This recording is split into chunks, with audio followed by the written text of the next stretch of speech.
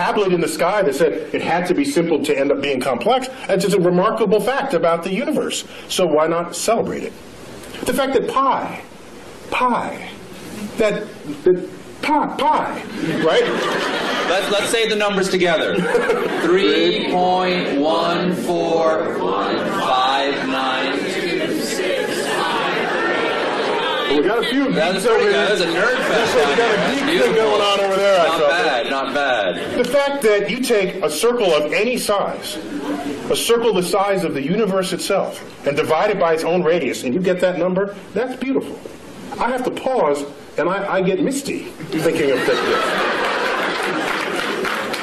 I'm sorry, that's, that's just another one. Another one. That the atoms and molecules in your body are traceable to the crucibles in the centers of stars that manufactured these elements over its lifespan when unstable on death, exploding its enriched guts across the galaxy, scattering it into gas clouds that would ultimately collapse and make a star and have the right ingredients to make planets and people.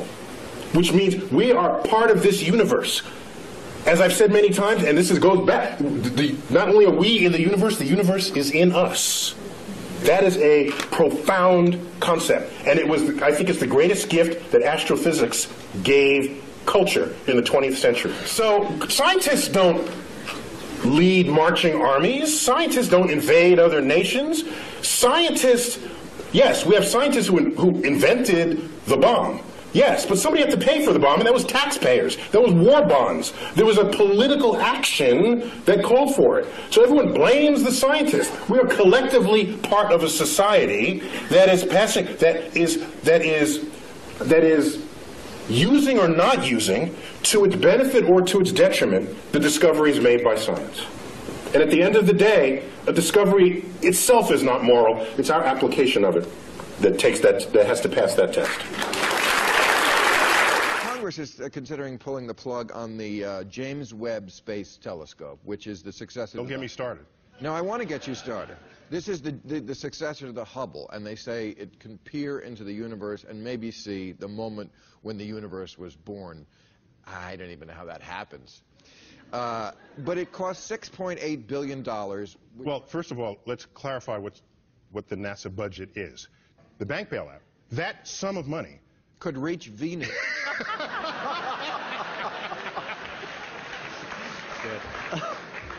That sum of money is greater than the entire 50 year running budget of NASA. Wow.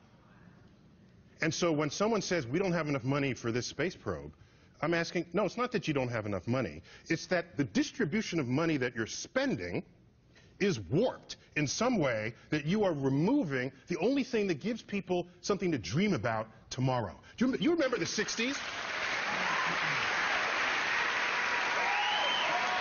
You remember the 60s and 70s? You didn't, you didn't have to go more than a week before there's an article in, in, in, in Life magazine, the, the, the home of tomorrow, the city of tomorrow, transportation of tomorrow. All that ended in the, in, in the 1970s. After we stopped going to the moon, it all ended. We stopped dreaming. And so I worry that decisions that Congress makes doesn't factor in the consequences of those decisions on tomorrow. Tomorrow's gone. You know what? We, we they're, playing, they're playing for tomorrow, metaphoric tomorrow, not the literal tomorrow. They're playing for the quarterly report. They're playing for the next election cycle.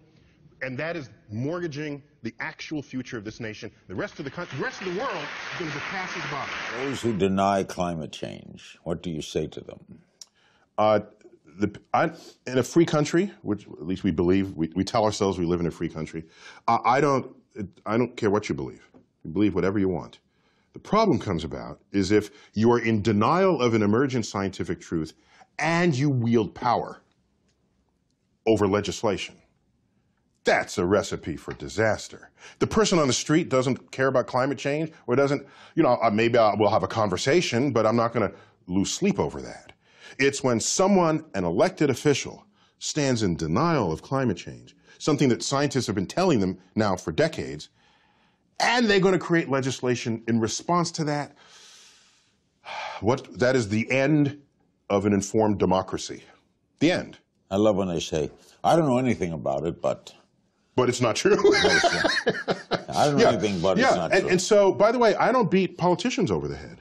You'll never see me arguing with a politician. You know why? Because politicians, representatives, senators, they are duly elected by a community of people, the electorate.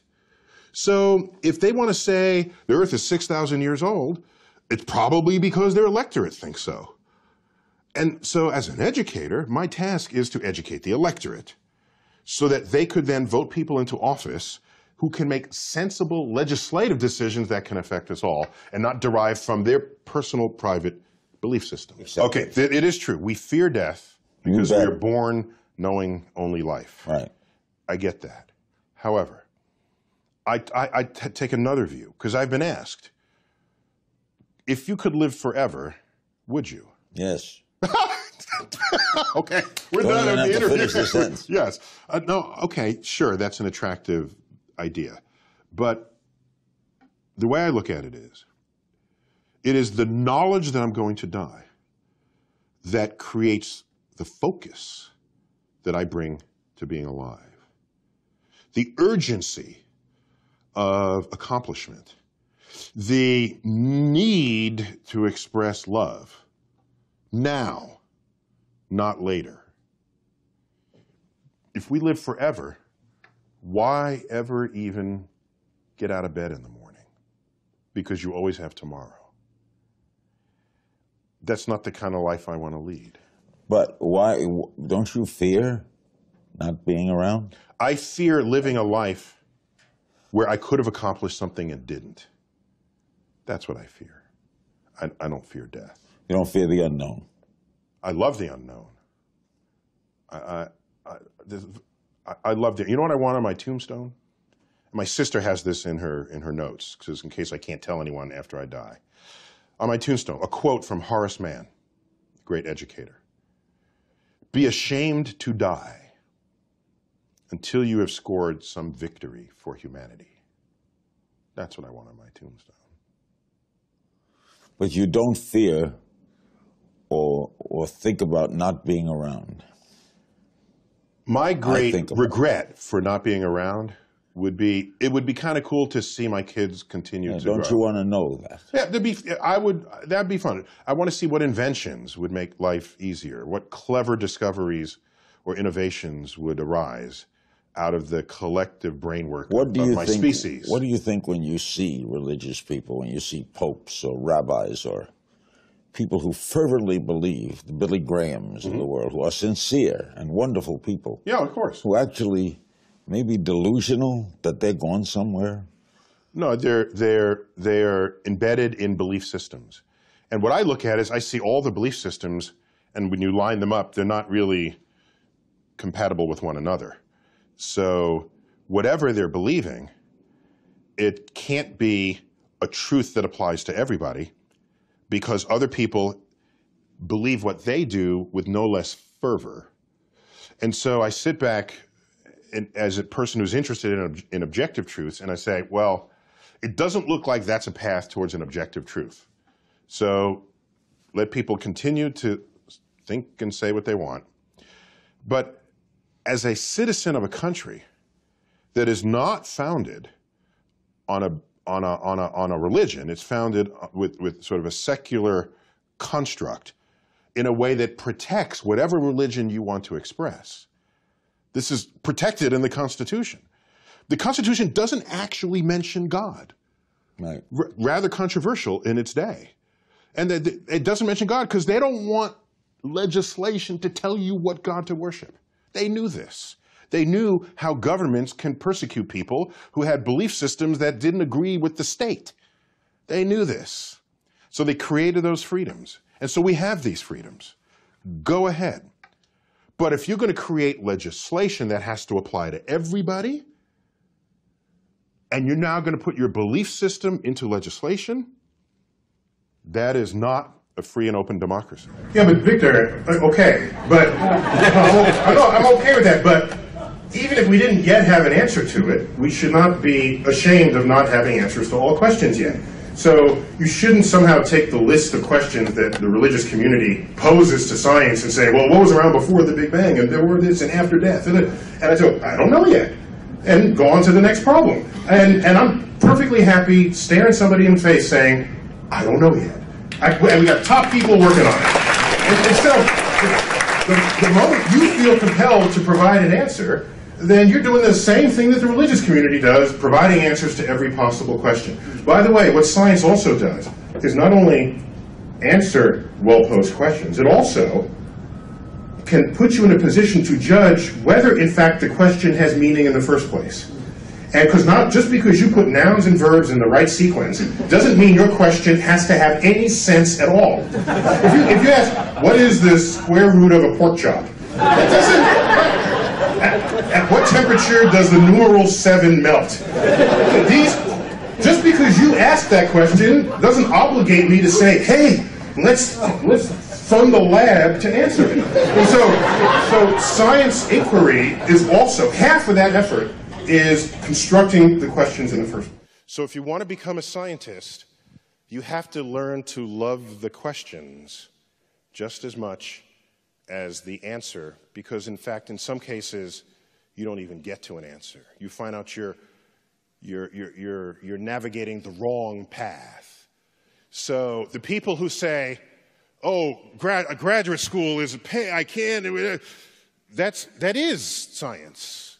What you're doing as a graduate student is becoming a research scientist and that's what you do. You work long hours. You're in the lab.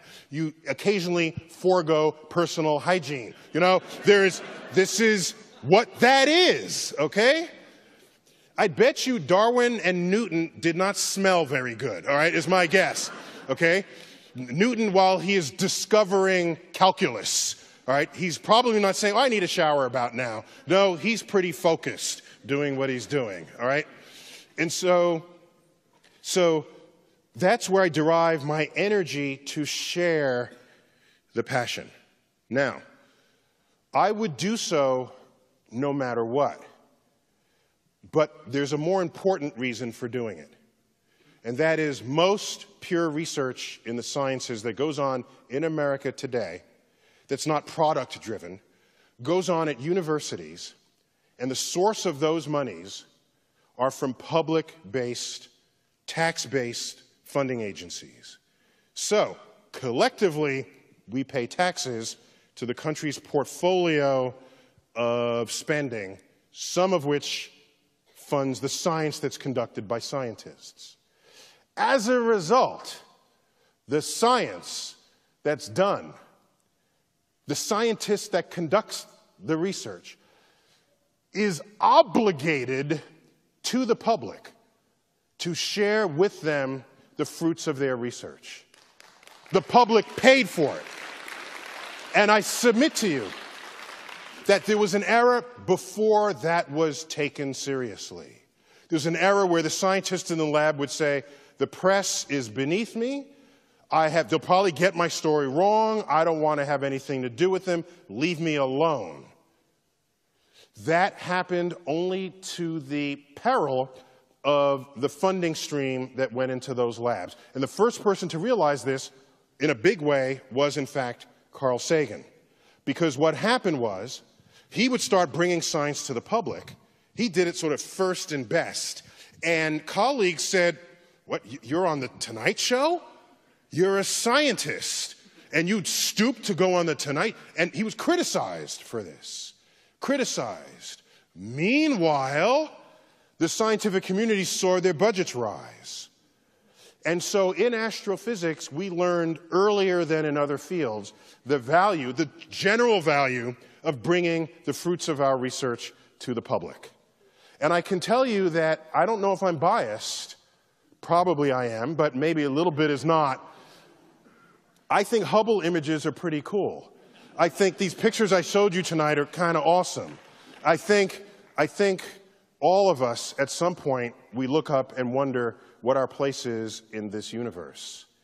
And a small fraction of the total population gets to actually call that their career.